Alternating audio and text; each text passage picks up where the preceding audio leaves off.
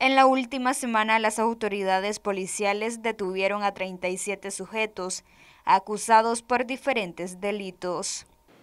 Fueron capturados 37 delincuentes por delitos de peligrosidad, cinco de ellos autores de muertes homicidas, 18 por robo con intimidación, asaltos, 14 abastecedores de droga y entre las evidencias ocupadas están 11 armas de fuego, 77 libras de marihuana, 6 kilogramos de cocaína, 2 automóviles y 6 motocicletas.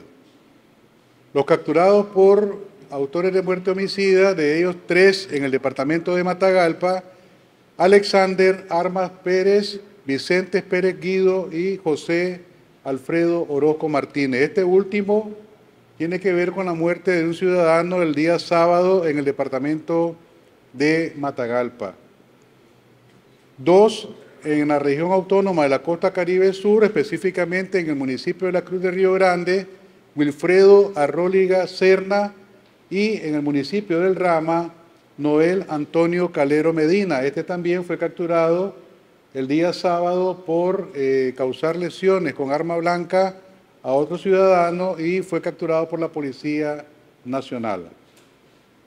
En el tema de los robos con intimidación, en el municipio de Huaspán, Caribe Norte, fue capturado Alex Aniel Lanza Molina por robo con intimidación, asalto, ocupándole dos armas de fuego tipo pistolas y dos motocicletas que utilizaban para cometer delitos en esta zona. En el Distrito 1 fue capturado Jairo Antonio Aguirre Hernández, ocupándole como evidencia una pistola simulada y vestimentas que utilizaba para cometer los delitos en lugares del Distrito 1 que estamos todavía aún investigando. Cinco delincuentes presos por abastecedores de droga en los distritos de Managua, Oscar González López, Brian Hernández Picado, Axel Sotelo Telles, Eden Forbe O'Brien, y Raúl Castillo Palacio. ¿Qué le ocupamos a estos delincuentes? 4 kilos con 258 gramos de cocaína más 5 libras de marihuana.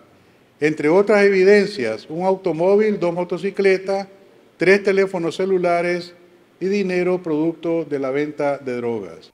Los sujetos y las evidencias fueron remitidos a las autoridades competentes. Para Noticias 12, Luisa Centeno.